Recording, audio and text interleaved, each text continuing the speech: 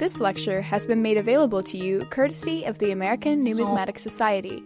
Right before the beginning of RPC, you will see that some of these coins are actually um, included in RPC, but several of them are not. And so this is really the value of this catalog. As I say, this is the uh, cover of one of these uh, one of the volumes the catalog per se. There are it's in two volumes with the plates. And once again i want to to highlight that we have here all these co-authors uh, like Oliver Hoover, Susan Frey-Kupper, Clive Stannard, Sofia Kremydi, Federico Carbone, David Hendin, and Liv Yarrow that have participated. Some of them just wrote introductions. Some of them, like Oliver Hoover um, and Sofia Kremydi, Susan Frey-Kupper, and Clive Stannard, actually uh, are co-authors of entire sections. So this is very important for me to highlight here. And in case you're interested in uh, uh, this, uh, in this catalog, you can see here the link. Now, I'm using here again this very, very, very famous uh, um, statement by Michael Crawford that in some way really began it all. This idea of the progressive adaptation of monetary systems in the provinces right after or even begin the Roman conquest of these territories. And it says, for the fact that the Romans did not export their own coinage into the Greek world does not mean that their presence had no effect on existing uh, monetary patterns. And this is something that we will see definitely in the course of this presentation.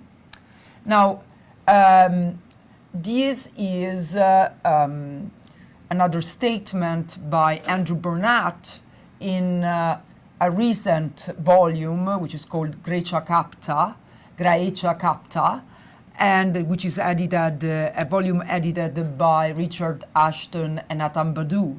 And he, uh, he of course is one of the authors of the Roman provincial coinage, uh, says something which is very important. No? This work and the new approach uh, seems very familiar now, and much of what we used to call Greek, or at least Hellenistic numismatics, now operates in a Roman framework. No? Because, of course, we have the passage between Greek imperials and Roman provincial coinage.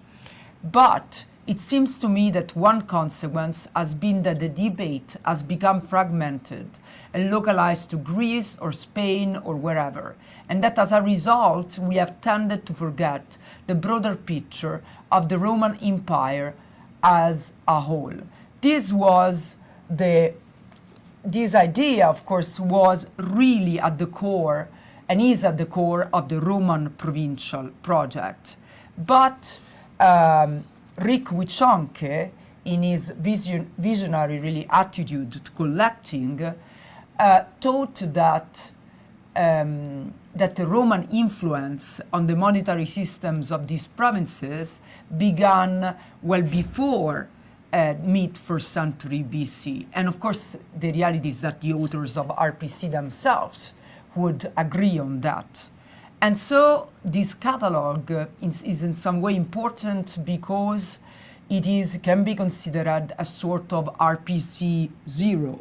So it really tells the tale of uh, what is before RPC. So when the Romans, the coinages don't look Roman at all, there is in some cases no Roman magistrate on them, they just look Greek, but still the Romans are somewhat and somehow involved in their production. And we will see in which ways they were involved because it changes uh, greatly from province to province. Okay, I'll just go with the next slide. This is was the Witschonke collection looked like, actually still looks like. We're going now to integrate finally the Witschonke collection into the ANS collection, which is what, and this is how the Witschonke catalog, let's say, looks like. One thing I wanted to ask you to tell you is that I'm going to do this presentation, show you a lot of coins. Uh, usually what we do is that we leave the uh, discussion for the end, but I have to say, since I'm going to show you some pretty specific coins, some overstrikes that are basically unique, uh, in case any of you has uh, a pressing question, just please raise your hand and we will unmute you so that you can uh, uh, so that you can ask the questions directly while I'm showing the coin. Okay? So the Witschonke catalog consists of 36 sections and uh, uh, 36 sections and it has been organized when, whenever possible in a way that is very similar to RPC because as we said is in somewhat considered and organized as sort of RPC zero. But great importance uh, uh, is being given to Celtic coinages. So uh, Rick, following in this uh, um, Michael Crawford, um, gave importance to Celtic coinages, which anyway the Celtic coinages, both in uh, uh, especially in Gaul, show the influence of Rome of the Romans. But we have already discussed this on December 15 non-state coinages, imitations that we have already discussed for the West. But then, as I said, usually uh, what has been followed, uh, the criteria, the organizational criteria that's been followed in the catalog is a geographical criteria. But some, sometimes uh, the amount of coinage of a certain typology was so enormous in some way that we I decided to create uh, different sections for the cistophori, so the reduced standard um, tetradrachms issued in the province of Asia and before that in the Attalic Kingdom, and for the so-called fleet coinage of Mark Antony. And we will discuss both these coinages. And I also decided to include Roman and Italian coinage in, in of course, they were not, uh, you know, they are not included in RPC for clear reasons, because in some cases we have uh, unofficial issues that somewhat relate to non-state coinages also issued in other provinces. So colonial coinages, for example, the super important coinage of Paestum or the coinage of Copia that we have already discussed last time, unofficial issues, and so and so. So this is us Roman, Rome's conquest in the Mediterranean up to the death of Julius Caesar. We saw already this map last time, and so now this time we will be discussing this part the coinage issued in the East. So I'm here using a slide uh, that was presented at the conference in honor of uh, uh, Rick at the beginning of 2021 by uh, Francois de Callataÿ. And here he defines what he calls uh, surrogate coinages. So several of the coinages we're going to discuss today are what could be called surrogate coinages. What is the idea of surrogate coinage? This term, while it was used by François de Callataÿ during this conference, has been introduced in a, by an article by Peter Tonneman in 2019 on the Numismatic Chronicle.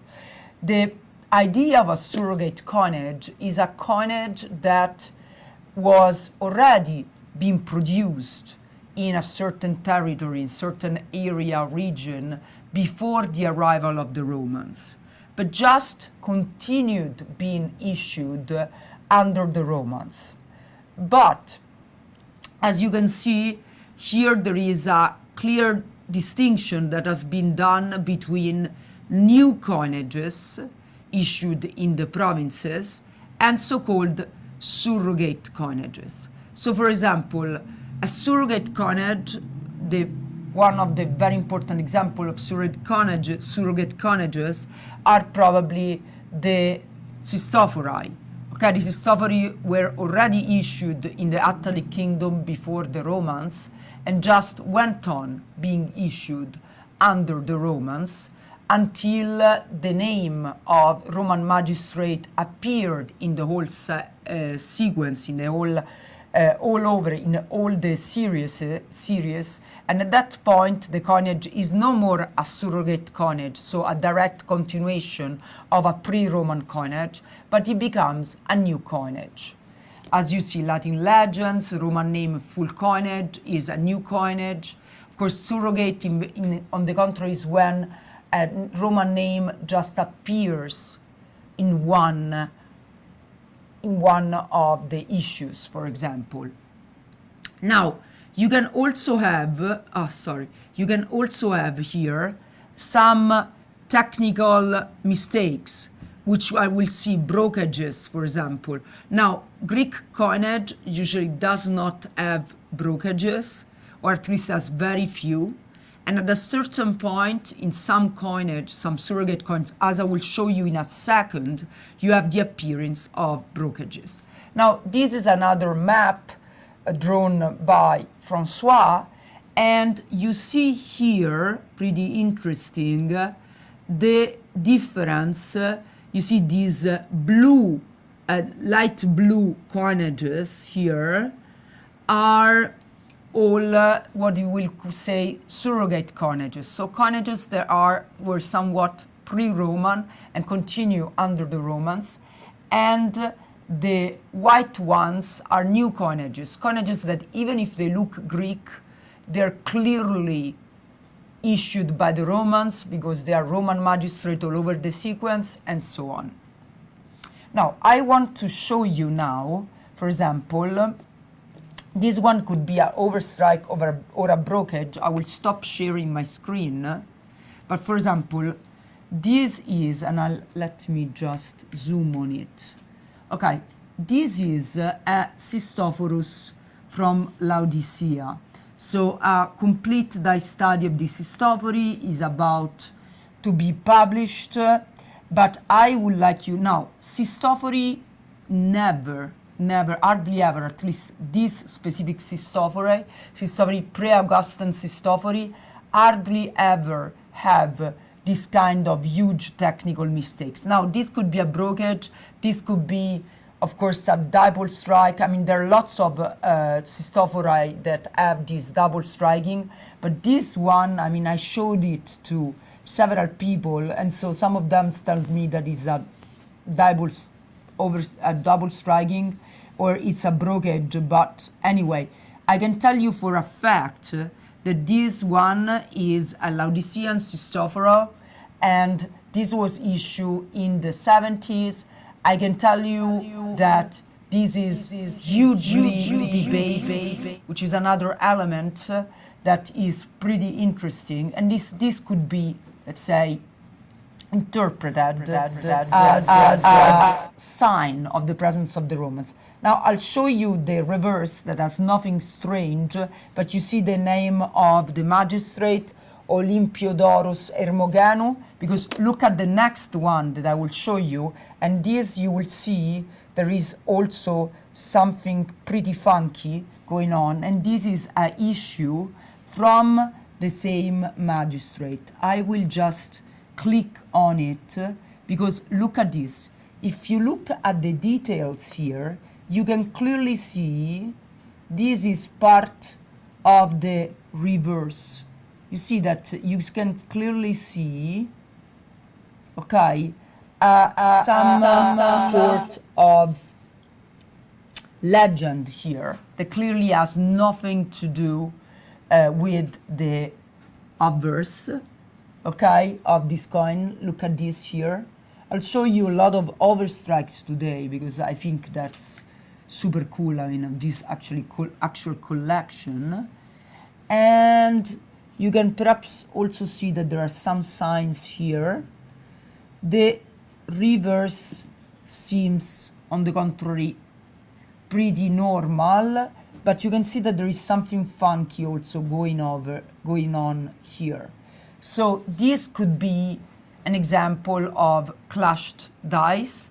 This is the only example we have for Cistophori with clashed dice. So it's pretty interesting to see, for example, this is Laodicea in the 70s, this drop, uh, drop of fineness, lots of technical mistakes, just concentrated in these issues, and this is really not something that we see in these.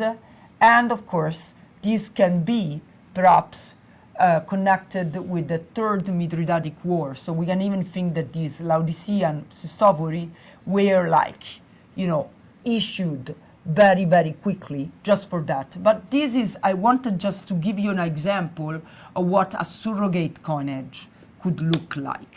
Okay? So I'll just resume uh, with my uh, slide presentation.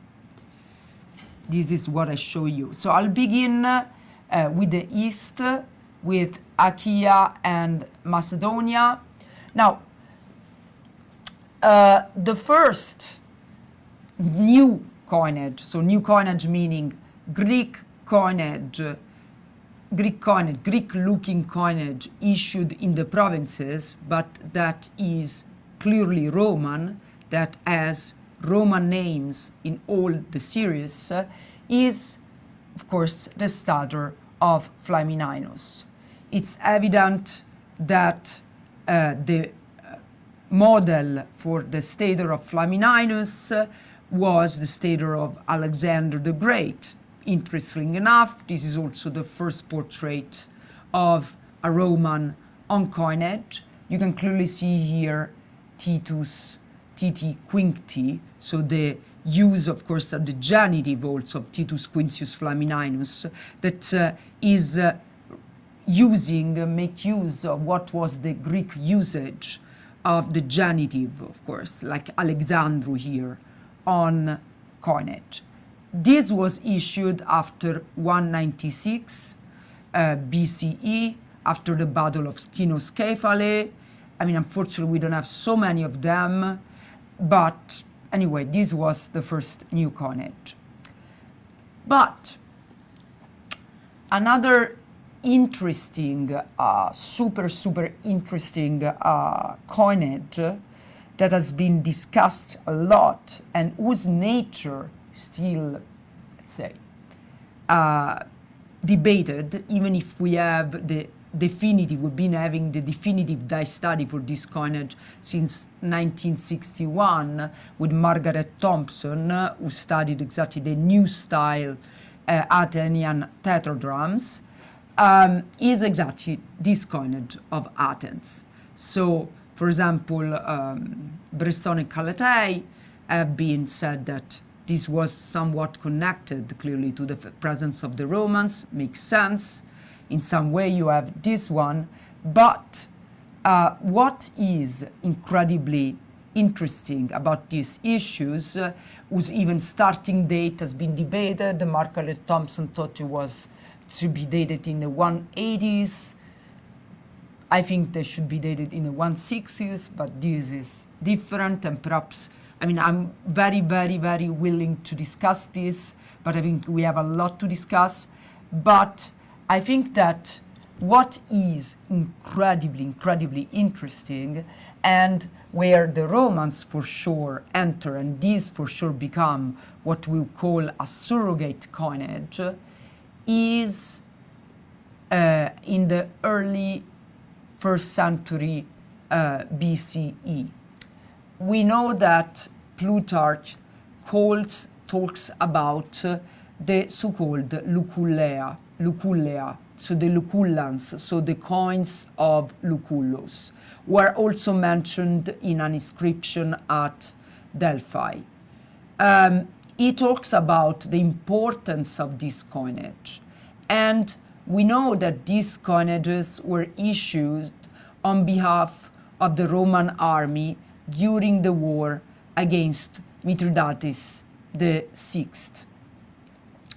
It's thought soon after Sulla's capture of Athens, uh, in reality, I would say that, um, and this has been shown in a definitive way in 2017 by Pierre Assenmaker, that they will, uh, they were issued right before the capture of Athens, because I'll show you what was issued quite certainly after the capture of Athens. Uh, you can see here these, uh, um, these monograms that have been, uh, um, have been, now it's generally acknowledged, been interpreted as Marcus Lucullus Tamius, Tamius, uh, Tamius, sorry, which means uh, uh, treasurer, so questor, Marcus Lucullus. So the lieutenant of Sulla is Lucius Lucullus. This Marcus Lucullus would have been his brother. And uh, already, I have to say that uh, Margaret Thompson in 1961 thought that these new style uh, tetradrams looked different from the other tetradrams. So she thought that the were, she calls them in their book, pseudo-Athenians.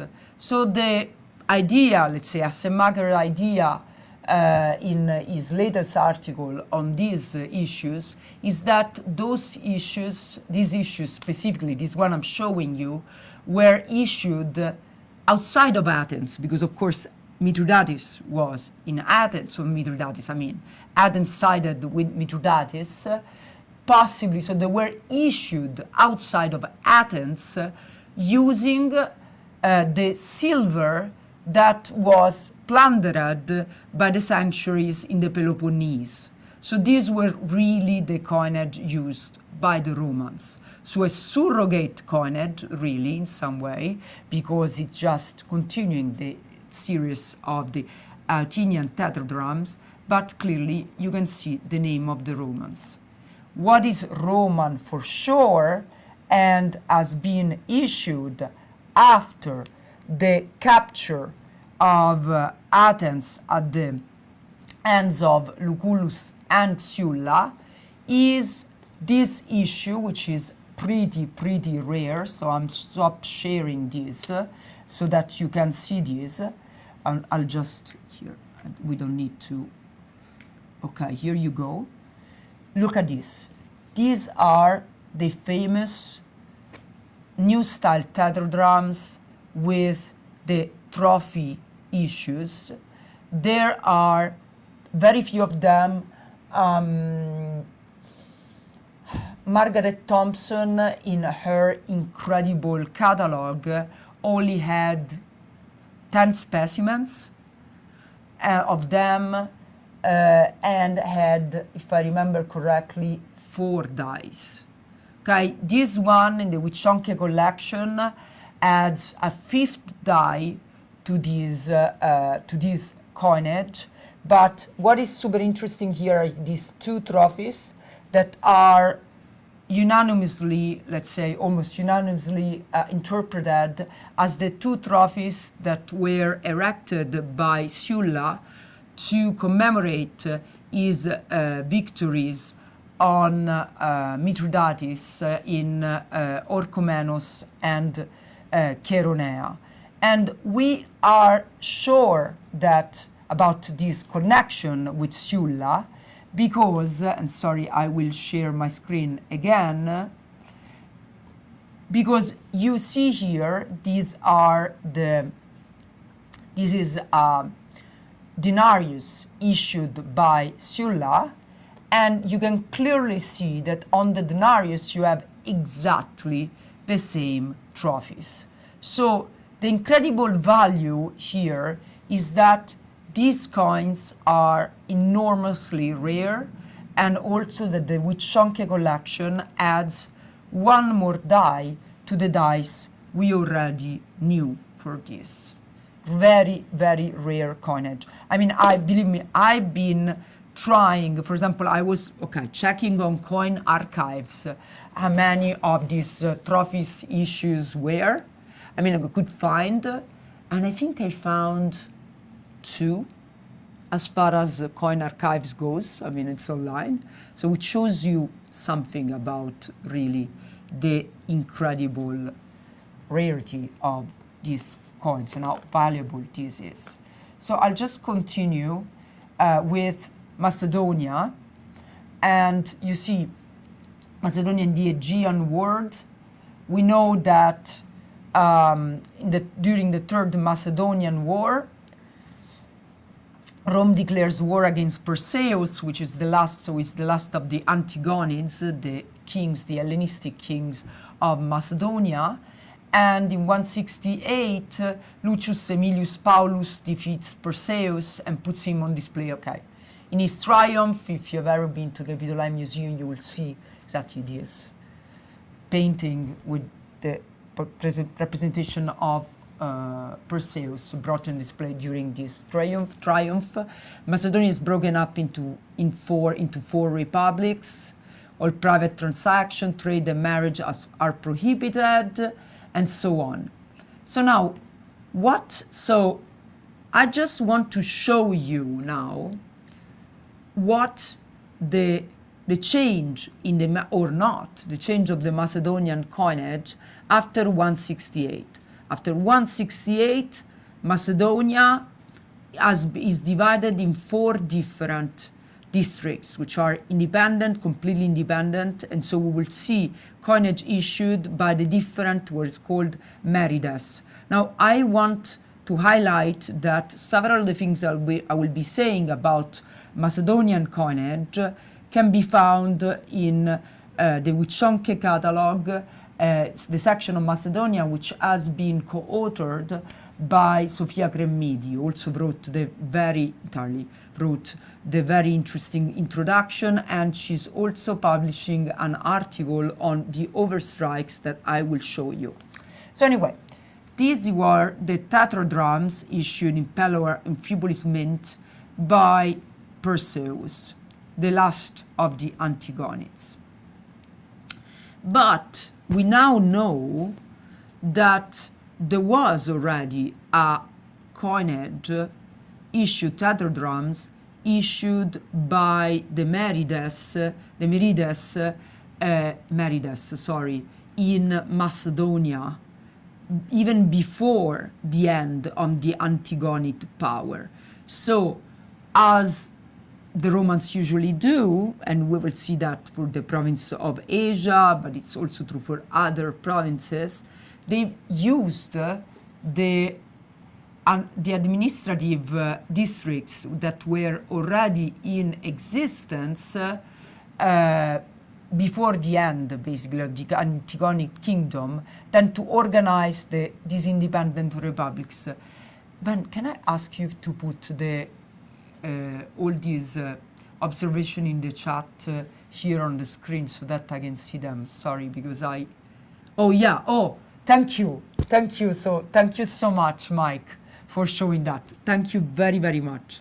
Okay, great.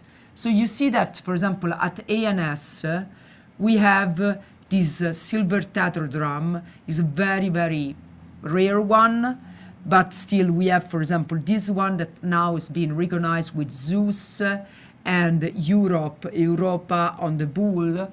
And you can read here Macedonons of the Macedonian Protes. Now, but after Pydna, when, as I said, Macedonia is then divided into these four republics, you can see what happens here and I want to show you, um, I want to show you, so I will stop sharing some of the coins in our collection. So you see, the Romans, what the Romans will do is that they will keep issuing, this is a very beautiful example, so from, um, from Amphipolis, um, so the capital of the Protes, so of the first Merides, look at this this beautiful beautiful um, decoration with Macedonian ski, uh, shield this Macedonian shield with of course the uh, Argead star and Artemis. I mean very incredibly beautiful. But so uh, the four of the four, let's say, Meridas that we have, uh, we know that the first, the, the first, the Prote, and the second, Deutera, issued tetradrums, while uh, issued silver. The fourth and the third issued bronze, as far as we know. So the Protes, uh, the, the silver coinage issued by the first Maris, uh, is uh, pretty, uh, pretty consistent uh, and uh, has been, this coinage has been published uh, by Ilya Prokopov in a book of 2012. And on the contrary, the coinage, the silver coinage of the second one, of the Deuteras, as you can read here, so the second Maris, is incredibly rare.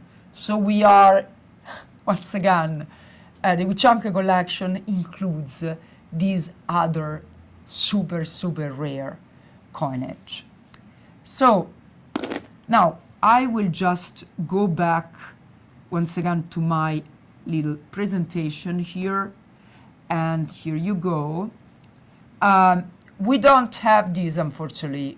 Um, I mean, we have at the ANS collection some of the drachmae by uh, Philip VI Andriskos, uh, who, after 148, basically after the provincialization, after Macedonia actually became a province, tried to uh, add the rebellion basically against the Roman power.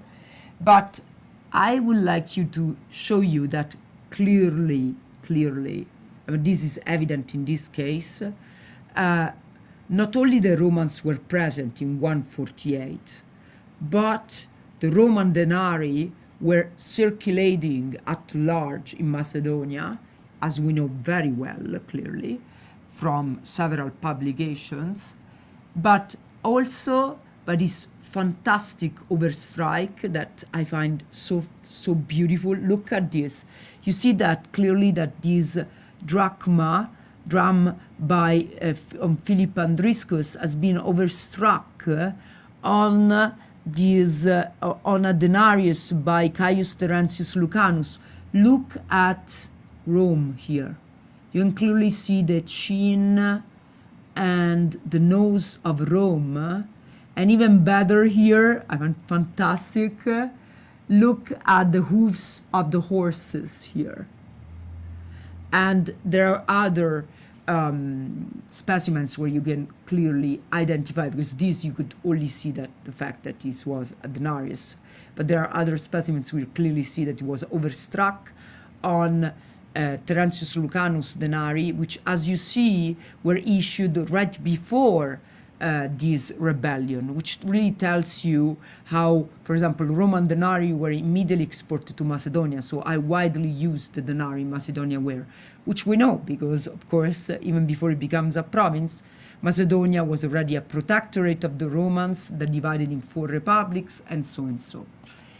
And then what happens, and there you go, we have the passage after the provincialization of Macedonia from what we would call a surrogate coinage that the Protes and uh, Deuteras uh, Merides coinages were, because they continued uh, the coinages which were before the before Pydna, before the defeat of Perseus, you have here this one that clearly, as you can see from this, uh, from the PowerPoint, and as we will see clearly now from the uh, pictures, you can see here that you have a Roman legend, which is what we uh, think as a exactly like this is one of the criteria for identifying what we call new coinages. And there you go.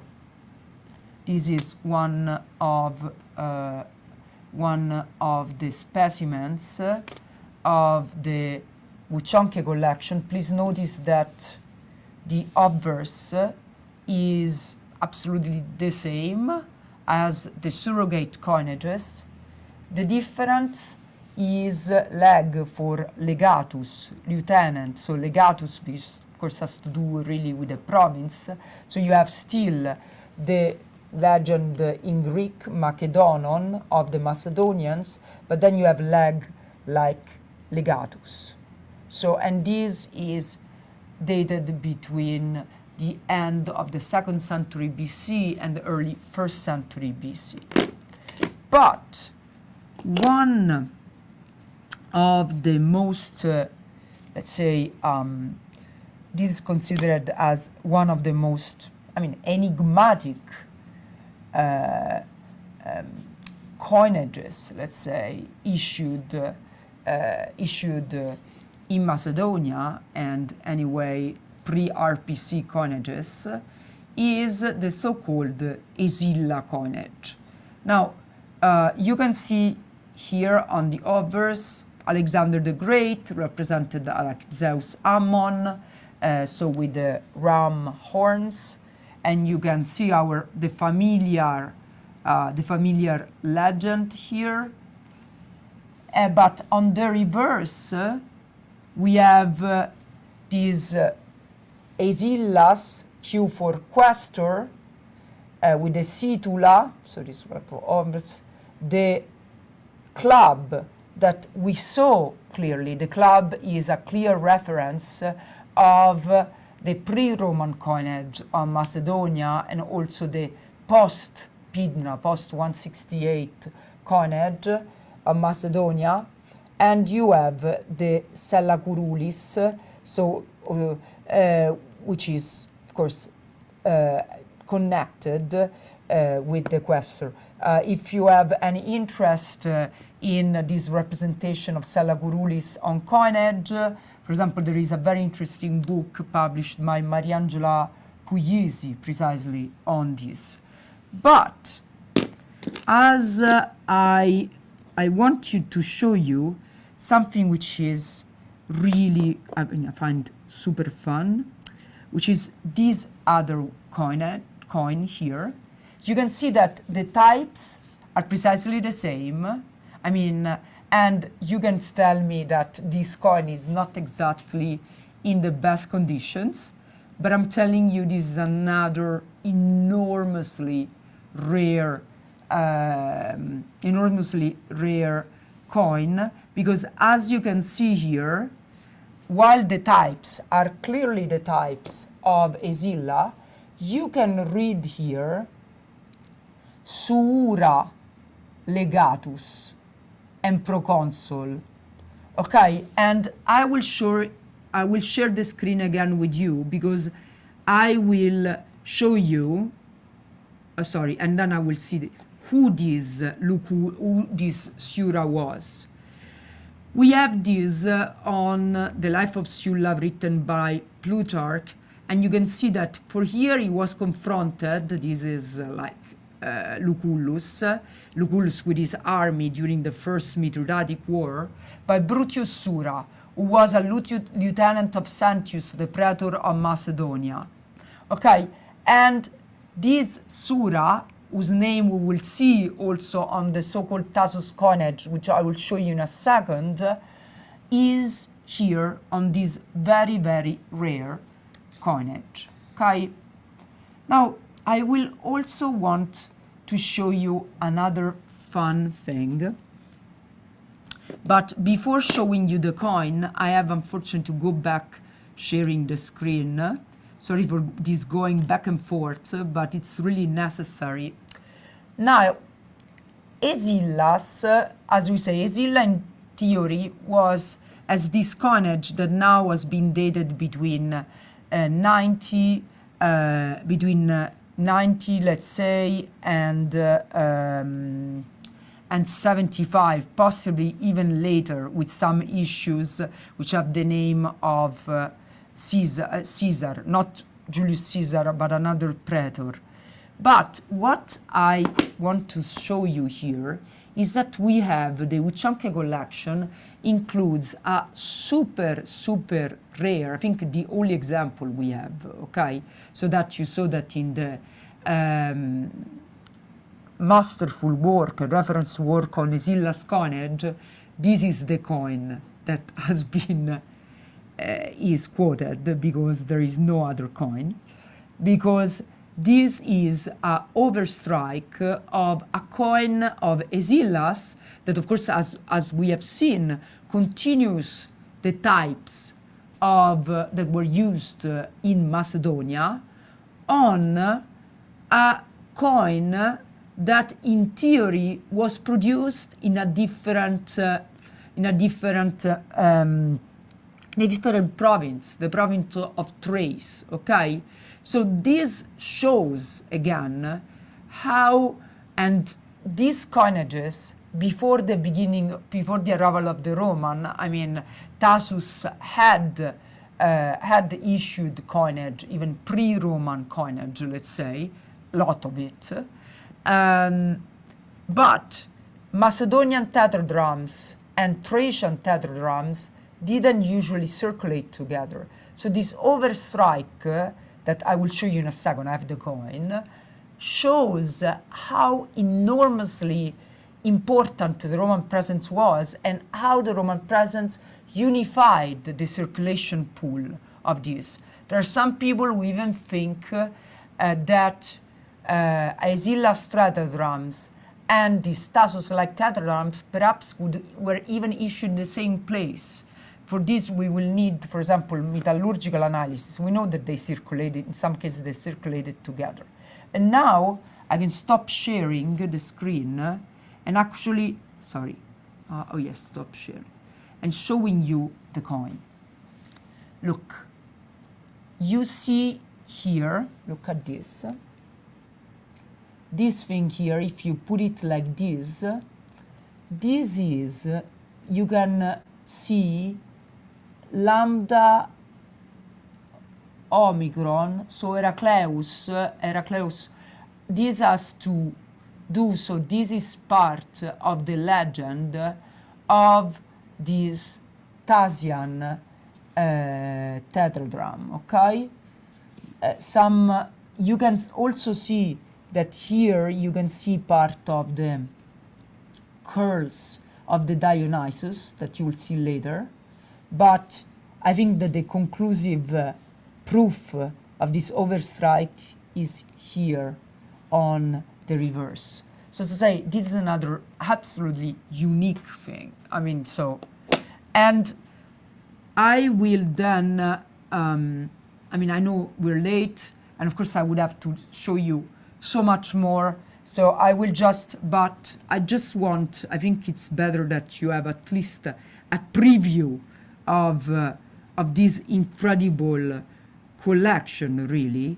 So Thrace and the Romans, uh, you see, the Romans declare the freedom of the cities, so you have Thrace, but uh, Prokopov, Ilya Prokopov, the same one that I have mentioned for uh, the tetradrachms, the Macedonian tetradrachms, also issued a very important catalog in 2006 uh, on Thasian coinage and he identified what he calls Thasian style coinage. So Thasian style coinage, which means exactly what we were talking about, is surrogate coinage. Okay, so surrogate coinage issued by uh, the Romans, um, issued by the Romans in continuing, continuing the previous ones.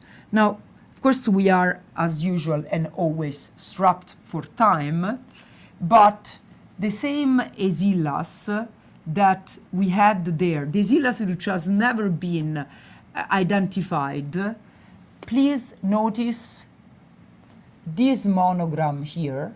This is from Thasos, this has been identified. I mean, there has been a lot of discussion on this, whether this is Aesillas or not. I mean, for example, uh, Sofia Kremydi in the Macedon on the, on the Witschonke catalog thinks this is Aesillas. So in this case, if this is actually Aesillas, this really shows the fact that whoever was in charge of Macedonia was also controlling production in Thrace, or at least in Thasian, for this Thasian-like um, coinage. But if we were not sure about Aesillas, we are definitely sure about the present of, presence of Sura, the Sura we saw on the Macedonian tetradrachms is here present on this Thasos-like coinage. I mean, there is no doubt about this reading in this case. I mean, we can be absolutely sure. So for sure there is a clear link between these two productions whose uh, peak was during the First Mithridatic War, when we know that the Roman armies were there, and Sulla, we know, was strapped for money because Rome was not supporting him. And uh, please, I, I want to share you another, show you another overstrike, but before showing you the coin, I want, ecco, this is the coin I'm going to show you. Please notice here, it's so evident here, non, you read the Macedonon, what is usually in the Aesilla, and you can see here also part of the oak of the Aesilla's coinage.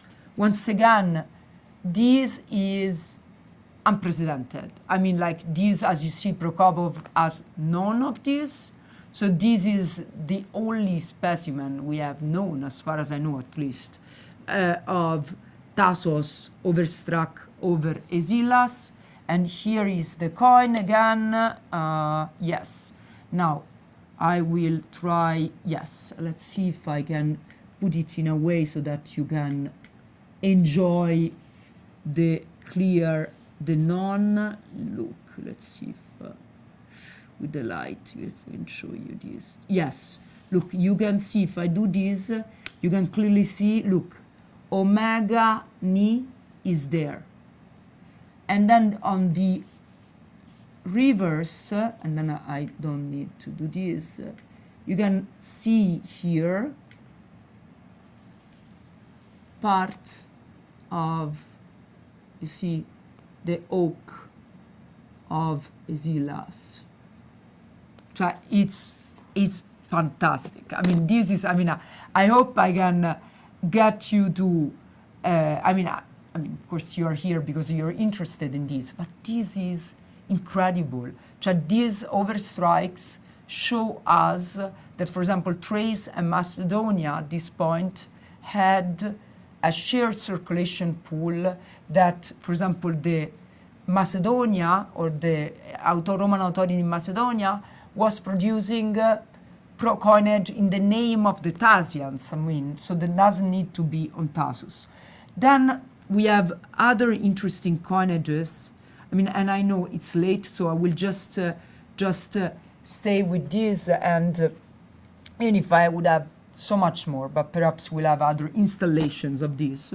But you see here this uh, bronze uh, uh, coinage of Macedonia, the famous questorial issues. Now we know that um, Sicily, after the institution of the province of Sicily, that as you know was the first province ever established by the Romans, we had questorial coinage being issued.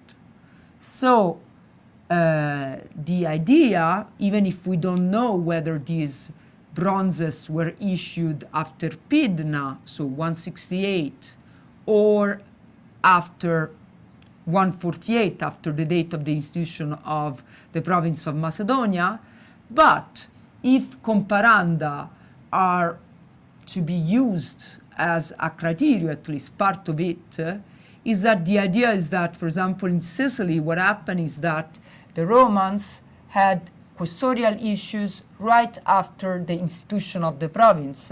So we can imagine that perhaps they did the same for Macedonia, so that would be after 148. But as we say, this is pure conjecture. But what is super interesting about these questorial issues you see here is that um, they are hardly ever, the first one, this Fulcinius and Publilius, are hardly ever overstruck, okay? Because this would be interesting for us to see where they were overstruck or no. For example, this is Publilius. Now, um, we know because exactly this is what also this is there is this forthcoming paper by Sofia Kremydi.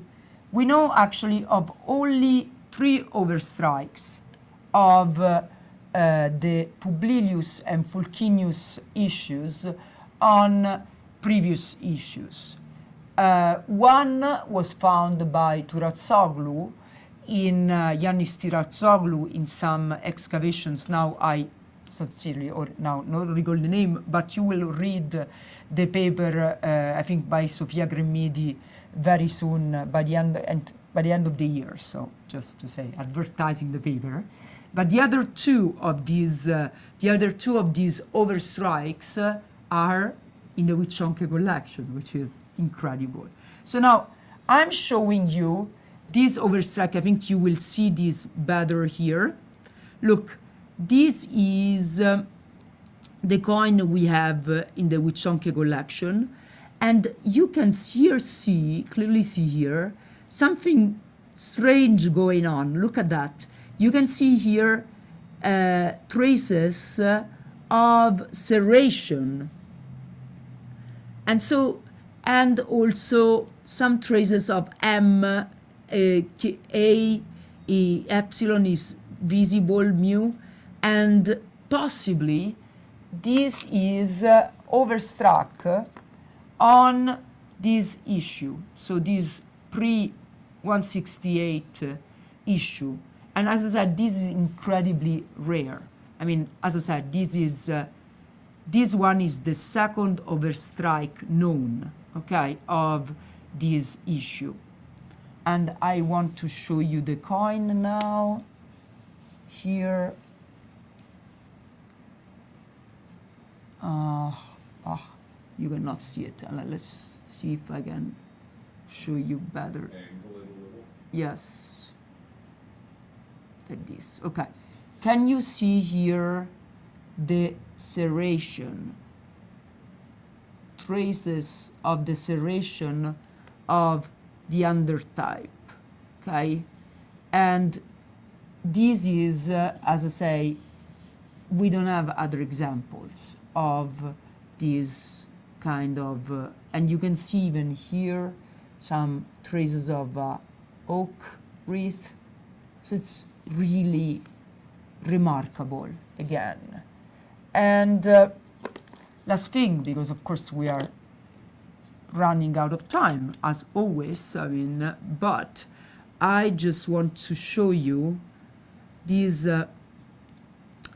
Uh, there is this other um, now uh, in 142 so right after these two issues of Fulcinius and Publilius uh, we also have uh, another issue that uh, I mean quite certainly already Gaebler uh, identified as issued by Junius Silanus, because you can see here the Silanus, the Silanus head, and it's the same pan that uh, uh, he does uh, on Roman coinage, on Roman Republican coinage. So that's how it's been identified as uh, Junius Silanus, was praetor in Macedonia.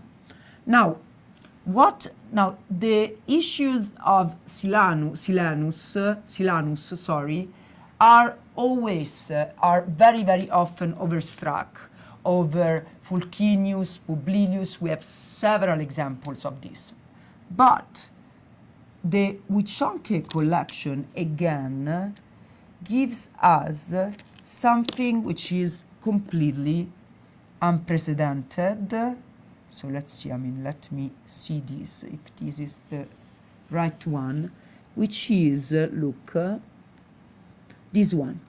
Look, can you see, before I show you the coin, can you please uh, see the that here, look, you can read here again, omega and ni here, okay? And uh, you can see even some oak here.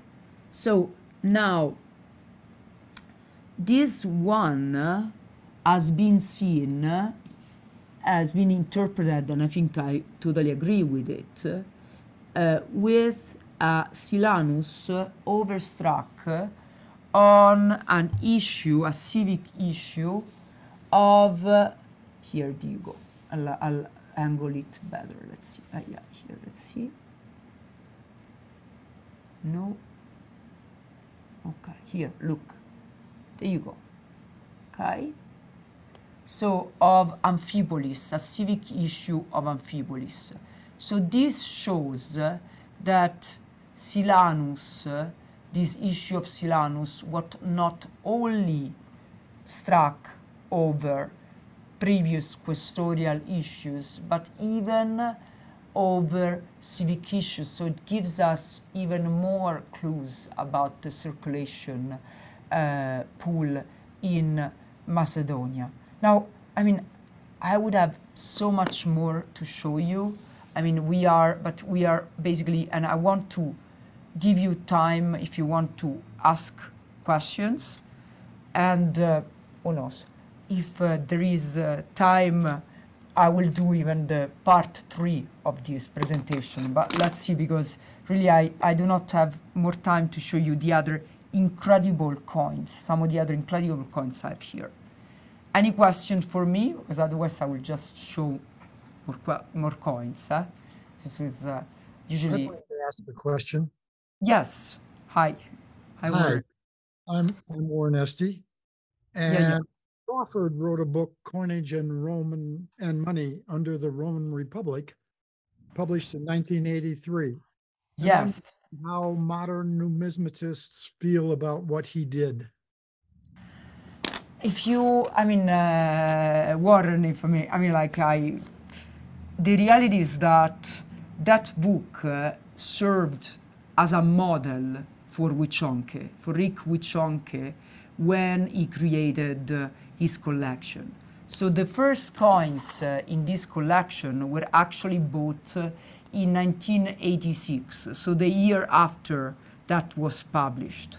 And uh, for example, the Celtic coin, so you really are spot on. So the coinages, for example, the Celtic coinages that he um, he included uh, in his treatment, uh, included in his treatment of uh, Gaul, are actually the ones that uh, Rick uh, bought for his collection. So um, while, uh, of course, thank God, I mean, uh, research moved forward, let's say, still uh, that 1985 book by Crawford remains absolutely fundamental and at the time was absolutely visionary and that that's exactly what inspired inspired Rick uh, to buy all these coins. So is so it's fantastic. That's exactly the thing. Yes, that was the model for him, and so uh, he thought. Um, I mean, of course, uh, RPC was not there at the time, clearly, because the first volume was then published in 1992. Uh, but he thought that there was so much more and before um, 50 BC, and so that's how we did it. And uh, and then uh, uh, he also had an intuition about the importance uh, of uh, non-state coinages. I mean, for example, Crawford in 1982 uh, published this corpus of I don't know Italian uh, imita- imitations of Roman Republican coinage.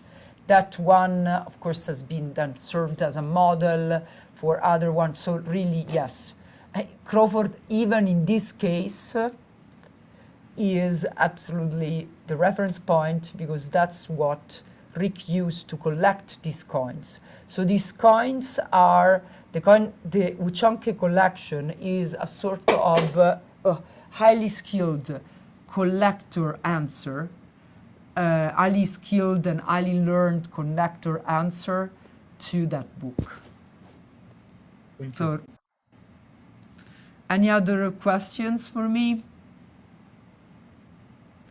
No more? Okay. So, if you don't have questions, and I'm not saying you should not have questions, please. I okay. So let's see, because I have like three more uh, minutes. um, so, and I don't have time. I mean, I wish I could make you vote uh, on stuff. uh, but for example, okay, um, Rick uh, had. Um, uh, uh, had some incredible coins, uh, uh, absolutely unique. uh, for example, uh, Tralles coins. Okay, so these are uh, early. Uh, Let's see if I can see this one. You can see it better. Yes, this is fun, fun, fun, fun. Okay, look. Um, Ashton, Richard Ashton, in uh, 2003 or 4, I don't remember this one, 3 or 4, uh, wrote a super interesting article where he identified, you see all these, uh, um, uh, sorry, uh, letters here. You can see, for example, this one here too. See underneath the Nike, there are some letters. Let's see, sorry if I put it, sorry, exactly. Yeah, there you go. You see all here, Oloyos, and this one, Yup, for example. He, Ashton, identified these as uh, um, as Macedonian months and the initials of Macedonian months. Now, for example, this one is fantastic. Please notice that this one, which is Yup for Uber, Uberetaios, Hyperberetaios, which is the month of September, has been overcut. You can see here a cut over a gamma, which is the month uh, Gorpaios, which is the month before Hyperberetaios. Okay, so for example, this is absolutely unique, and this is, of course, quoted by Ashton in that article. Let's see. Let's see something which is fun. Another fun thing. Okay, now it's two.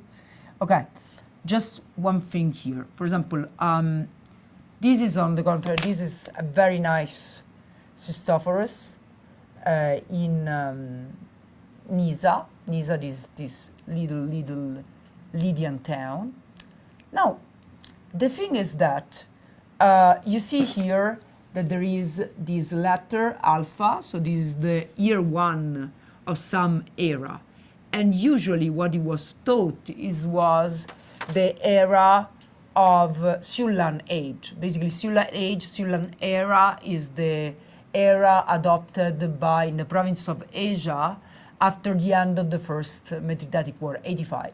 Now, there was a hoard that was found in 2002 and then unfortunately was dispersed on the market but in this hoard that was found in 2002 and firmly dated to 90 89 BC, so five years before the end of the Mithridatic War, was found this coin. So not this issue, but this coin I'm showing you now, okay?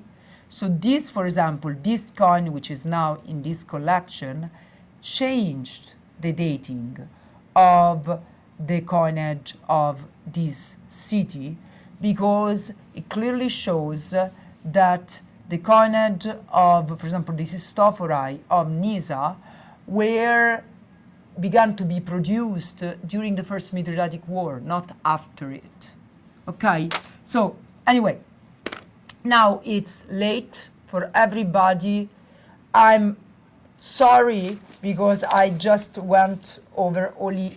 I wish you could see my tray. I had 40 coins, but at the same time, I literally cannot, could not uh, show you these coins because really these coins, uh, the coins in this collection, are uh, the product of somebody who really, really, really knew about this coinage and then chose the most curious uh, specimens Okay, and so this is important. It was important for me to give you at least some historical context for this. You will find much more clearly uh, in the catalog and perhaps uh, in, a in the next long table. So thank you very much really for your presence here. I hope you enjoy this presentation and uh,